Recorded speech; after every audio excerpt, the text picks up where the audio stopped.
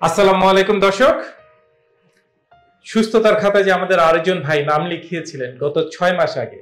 গত ছয় মাস উনি কেমন কাটিয়েছেন সেই বিষয়টা নিয়ে আজকে আপনার কাছে এসেছি। জামালপুর থেকে এসেছেন আমাদের একজন ভাই। তো আসুন ওই ভাইটির সাথে একটু পরিচয় করে দিই। যিনি ছয় মাস আগে যখন ভর্তি ছিলেন, এতটাই খারাপ অবস্থা ছিল, বিছানা থেকে পর্যন্ত উঠতে পারতেন না। ওনার ব্যবসা সকল কিছু প্রায় বন্ধের উপক্রম হয়েছিল। বাট কখনো থেমে থাকেননি। চেষ্টা করেছেন যে আমাকে সুস্থ হতে হবে, আমাকে ভালো হতে হবে।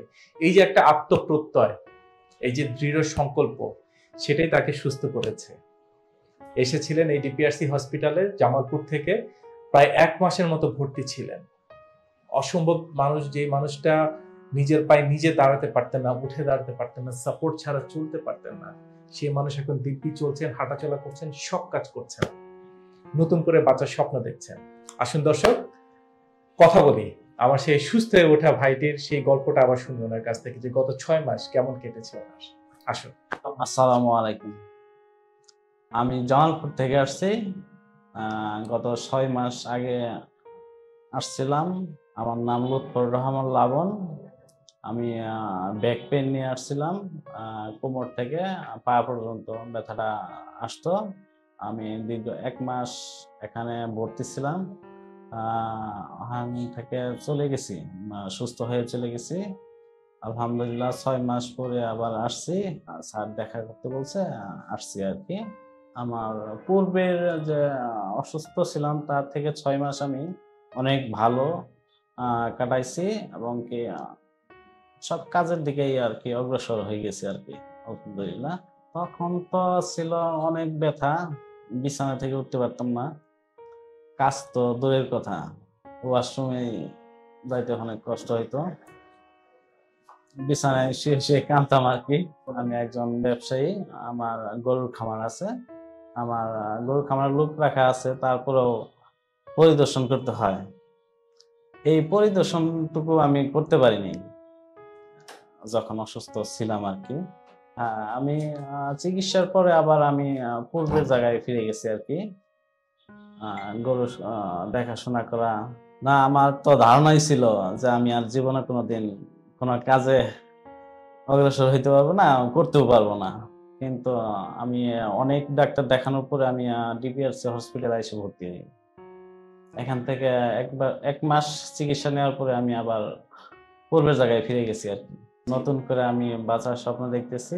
আমি দীর্ঘ ছয় মাস, মাসখানে যে কাটাইছি, অনেক পূর্বের অসুস্থতা থেকে এখন অনেক ভালো কাটাইতেছি আর কি। স্যার মাঝে মধ্যে দেখা করতে বলছিল, তিন মাস, ছয় মাস পর পর দেখা করতে বলছিল, তার জন্য আমি আসছি আর কি স্যারের সঙ্গে দেখা করতে। আমার আমার মতে আর কি বলি, স্যারের যে নির্দেশনায় দেয় সেই নির্দেশনায় চলা ভালো। স্যারের ব্যায়াম দিছে, শিখায়া ওষুধপাতি মেডিসিন এগুলা ইউজ করতেই হবে আর কি আলহামদুলিল্লাহ, আমি অনেকটা সুস্থ, আমার জন্য সবাই দোয়া করবেন আমি বাকি জীবন যেন ভালোভাবে চলে, চলতে পারি আর কি আমার মতো যে রোগীগুলো আছে, অবশ্যই ডিপিআরসি হসপিটালে আইসা ডিপিআরসি হসপিটালে আইসা স্যারের, শফিউল্লাহ স্যারের চিকিৎসা। আমি তো এখান থেকে সুস্থ হয়ে গেছি অবশ্যই। আপনারা আইসা চিকিৎসা নিলে অবশ্যই আল্লাহর রহমতে সুস্থ হবেন আর। দর্শক, দেখলেন তো গত ছয় মাস কতটা ভালো কেটেছে। আসলে একটা ছোট্ট ভিডিও একটা ছোট্ট ইনফরমেশন মানুষের জীবন যে আমল বদলে দেয়, তার প্রকৃষ্ট উদাহরণ আমার এই ভাইটি। সেই জামালপুর থেকে ছুটে এসেছিলেন শুধু চিকিৎসার জন্য, চিকিৎসা নিয়ে সম্পূর্ণ সুস্থ হয়ে স্বাভাবিক জীবনে ফিরে গেছেন। সব কাজ করতে পারছেন, আর কি চাই? আপনাদেরকে বলছি, কেউ কি আছেন আপনাদের ভিতরে? দীর্ঘদিন যাবত এমন অসুস্থ, মা, বাবা, ভাই, বোন, আত্মীয় স্বজন, কে আছেন? শুধু একটা তথ্য পৌঁছে দিন, যে সুস্থ হওয়ার কারখানাটা ঢাকার শ্যামলিতে, ডিপিআরসি হসপিটাল তার নাম। জাস্ট ঠিকানাটা দিয়ে দিন, দেখবেন তার জীবনটা বদলে গেছে, সারাটা জীবন আপনার জন্য সে দোয়া করবে। ভালো থাকবেন, সুস্থ থাকবেন। আসসালামু আলাইকুম। আমরা জানি আপনার প্রিয়জন আপনার জন্য কতটা গুরুত্ব বহন করে। প্রপার ডায়াগনোসিস কনসালটেশন পেইন ও প্যারালাইসিস চিকিৎসা পুনর্বাসন আমাদের সব আয়োজনই সবসময় আপনাদের জন্য চব্বিশ ঘণ্টা খোলা। আমরা চাই না আপনারা বারবার আমাদের কাছে ফিরে আসুন তবুও আমরা আছি সব সময় সর্বদা আপনাদের পাশেই। ডিপিআরসি হসপিটাল লিমিটেড আস্থা বিশ্বাস ও নির্ভরতায় অবিচল।